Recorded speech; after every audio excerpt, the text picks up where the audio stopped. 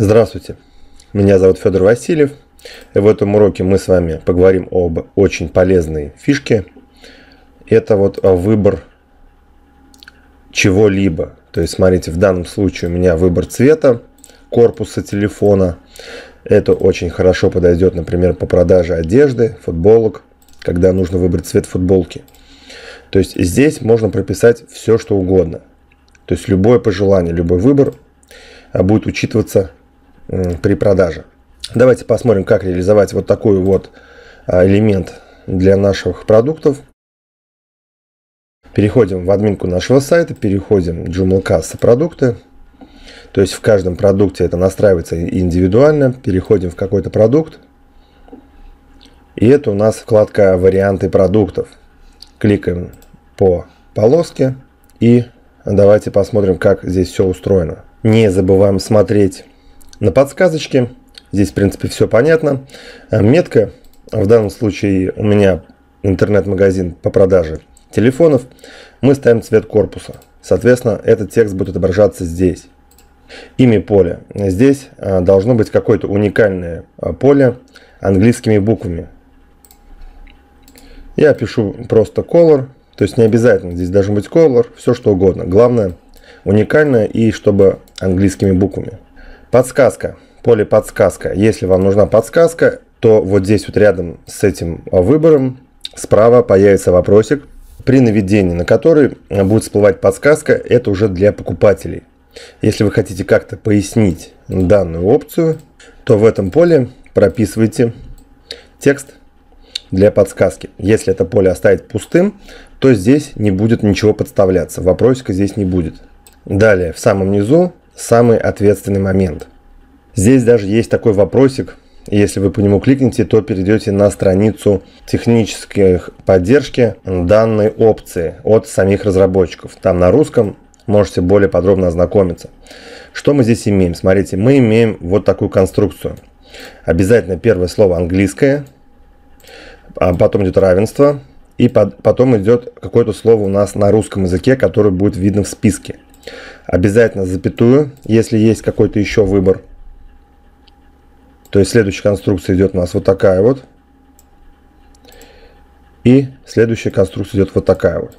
Давайте сохраним так, как есть. Нажмем еще раз сохранить. Посмотрим на сайт. У нас появился этот блок здесь, цвет корпуса. Подсказка работает. И вы видите, какие здесь слова присутствуют. Вот эти слова мы изменим на свои слова. Если нужно английский, ставим английский. Если русский, переименуем на русский. И здесь можно сделать не только а, выбор цвета. Также может от цвета зависеть и цена. Здесь это учтено.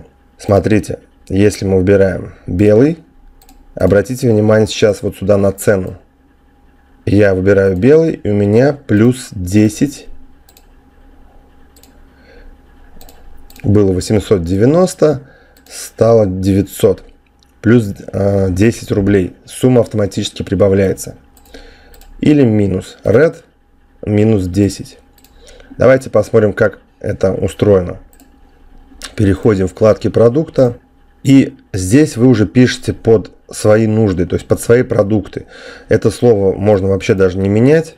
Меняем только здесь. Например, пишу черный, белый и red красный. Будьте внимательны при редактировании кода, не удалите никакой лишний символ, ни пробел, ни цифры, ни запятую, иначе не будет работать. Представим, что цвет корпуса белый у телефона стоит на 500 рублей дороже, то вы вот здесь вот вместо десятки ставите 500. Это будет считаться плюс 500 рублей. Вот этот плюс говорит, что сумма 500 прибавится к общей сумме. Соответственно, минус, минус к общей сумме.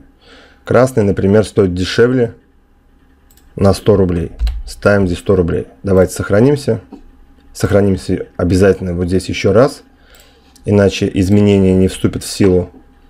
Обновляемся, видно, что у нас теперь здесь на русском черный, белый и красный. Смотрите, как меняется цена. Белый становится дороже, красный минус 100. у нас все здесь работает. Далее. Переходим обратно сюда. А, например, мы хотим больше вариантов разместить, как это делается. Вы в конце ставите курсор, переходите на английскую раскладку клавиатуры, ставите запятую. Можете вот отсюда, например, скопировать начало, а, переименуете как-то здесь. И, например, у нас есть еще цвет корпуса розовый. Если от цвета цена не зависит, то вы так и оставляете. Больше ничего писать не нужно. Если цена зависит, то вы ставите еще раз равенство, то есть вы смотрите уже как устроено здесь. Ставите знак равенства, ставите плюс сколько стоит за цвет, и после цифры вы ставите плюс. Запятую в конце ставить не нужно. Запятая ставится только если у вас есть еще один вариант. Давайте проверим. Сохранить, закрыть. Еще раз сохранить. Обновляем сайт. И видим, что в списке внизу появился розовый. Переходим обратно в админку. В принципе, ничего сложного нет. Если у вас не меняется сумма за цвет, то вы можете здесь же прямо удалить вот эти значения и оставить вот так. Тогда при смене цвета цена меняться не будет. Давайте проверим. Выбираем белый, красный, цена не меняется. Если вам надо много таких списков, то это не вопрос, вы кликаете по верхней синей полоске и создаете новый список с другими значениями, с другими названиями и так далее. Надеюсь, урок был понятен. Не забываем кликать вот сюда на вопросик и более детально на странице разработчиков вы сможете ознакомиться с каждым пунктом. На этом здесь все и увидимся в следующем уроке.